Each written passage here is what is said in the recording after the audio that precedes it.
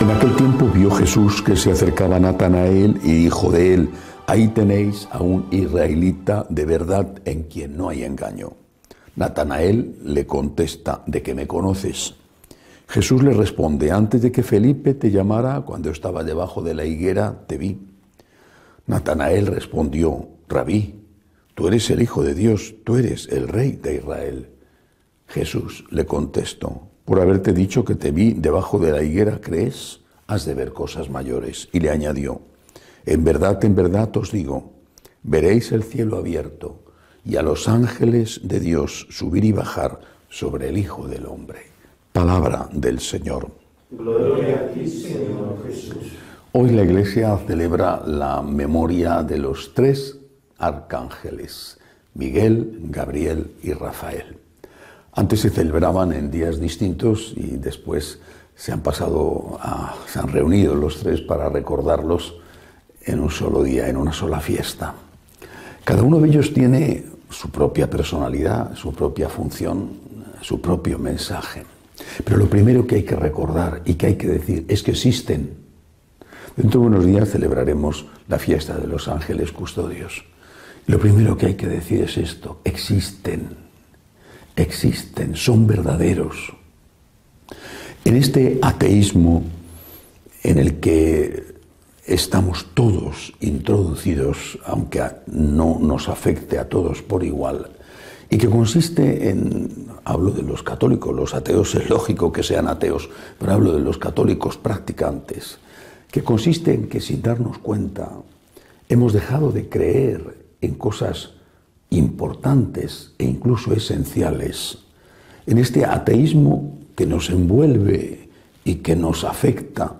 Una de esas cosas, en este caso personas, en las que se han dejado de creer es en los ángeles. ¿Quién reza a su ángel? ¿Quién le pide a su ángel? ¿Qué significan los arcángeles? ¿Qué misión tienen? Hemos dejado de creer en su existencia en su existencia como protectores, por ejemplo, de los niños, o en su existencia como protectores, como consejeros de nuestra vida. Además, en el caso de los tres arcángeles, cada uno con una misión, una misión histórica importantísima. Por ejemplo, cuando eh, empezó el pontificado del Papa Francisco, una de las primeras cosas que hizo fue junto con el Papa Benedicto, que estaba entonces en mejores condiciones físicas que hoy, se fueron a la gruta de Lourdes y allí se fueron a rezar, que está en los jardines vaticanos, y allí se fueron a rezar y consagraron el Vaticano para que el arcángel San Miguel lo protegiera. Ellos tienen esa fe, la tenemos nosotros. ¿Qué significa San Miguel? ¿Qué hizo San Miguel? El que se enfrenta con el demonio. El demonio, el ángel de la luz, el ángel más bello, quizá el ángel más brillante, más seductor, el ángel más inteligente, si es que se puede decir, y se pueden usar estos conceptos, ¿verdad? Lucifer, el ángel de la luz, se creyó tan importante que pensó que era igual o superior a Dios. Se enfrentó San Miguel Arcángel diciéndole, diciendo, ¿quién como Dios? Bueno, pues, ¿por qué no acudimos a San Miguel cuando tenemos tentaciones de soberbia? Todos los días. ¿Cuántos enfados proceden de la soberbia? Eh, ¿Cuánta obstinación procede de la soberbia? ¿Cuánta incapacidad para escuchar? Para simplemente tener en cuenta los argumentos del otro, aunque luego no le des la razón, pero al menos tenerlos en cuenta. ¿Cuánto procede de la soberbia? ¿Cuánta ruptura en la convivencia procede de la soberbia? Pero tú no eres Dios, porque la soberbia, el pecado de Satanás, el primer pecado, la soberbia pretendía eso. Yo soy Dios. Es el gran pecado del hombre contemporáneo, encumbrado en su trono de poder, de sabiduría, de minúscula sabiduría que no puede después curar un virus, encumbrado en su poder, considera que ha tocado el cielo y que ha derribado a Dios de su trono para ponerse él. y paga las consecuencias. San Miguel, por lo tanto, nos ayuda a ser humildes. ¿Quién como Dios? Solo Dios es Dios y yo no lo soy y tú tampoco.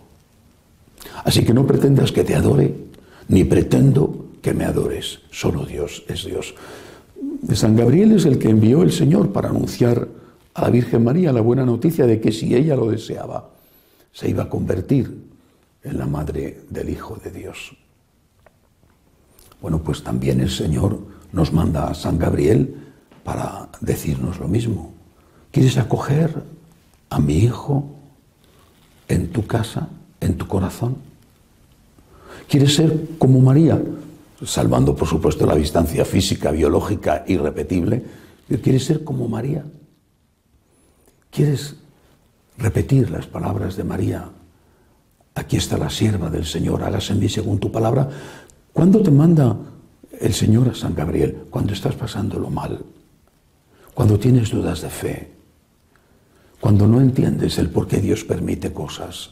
Te manda San Gabriel y te dice, fíate, confía, cierra los ojos, confía, confía. Hoy me escribía una señora una carta muy, muy impresionante. Su madre tiene 83 años, se ha caído en casa y se ha roto la cadera. Pero es que ella es paralítica, vive las dos solas, me imagino que tendrán algún tipo de ayuda de fuera. Y me hablaba de su dolor. Y este es un caso solo, de tantos, de tantos. ¿De qué te sirve revelarte ¿De qué le hubiera servido a la Virgen revelarse cuando estaba al pie de la cruz? Y rechazar la fe en el Dios amor. ¿De qué le hubiera servido? ¿Habría bajado su hijo de la cruz? ¿Porque ella se hubiera revelado? No, no hubiera podido ayudar a su hijo. Por eso, en esos momentos especialmente difíciles, y algunos son realmente muy difíciles, pero que todos más pronto o más tarde pasamos. El ángel Gabriel viene a visitarte y te dice, fíate, fíate, aunque no entiendas. Entre otras cosas porque si no te fías, no es que el problema se va a resolver. Y tú vas a estar sin la ayuda que te da Dios para afrontar con paz, con esperanza ese problema. Fíate, confía. Y di como la Virgen, no solo en Nazaret o no solo en Belén, sino sobre todo en el Calvario. Aquí está la esclava del Señor, no entiendo, pero hágase en mí según tu palabra. Y después está el ángel Rafael que aparece curando. El arcángel Rafael es alguien eh, eh, a quien tenemos que acudir también en las situaciones de enfermedad para que nos dé fortaleza y para que sea intercesor nuestro ante Dios. Y si es posible si es posible que pase de nosotros el cáliz de la enfermedad, que sea nuestro intercesor para que Dios sobre el milagro de la curación, que es tan necesaria en este tiempo, pero también para que seamos capaces de aceptar esos sufrimientos legados a la enfermedad, unidos a Cristo crucificado, incluso, me atrevo a decir, disfrutando de estar con Cristo crucificado, porque con tal de estar con Él, cualquier cosa Pidámosle a través del ángel, del arcángel San Rafael, que nos cure y que nos fortalezca. Que no nos bajemos de la cruz, porque si nos bajamos de la cruz, dejamos en la cruz solo al crucificado. Los arcángeles, los ángeles existen. Cada uno tiene un mensaje. ¿Quién como Dios? Fíate de Dios y pide a Dios la salud del cuerpo y del alma. Que así sea.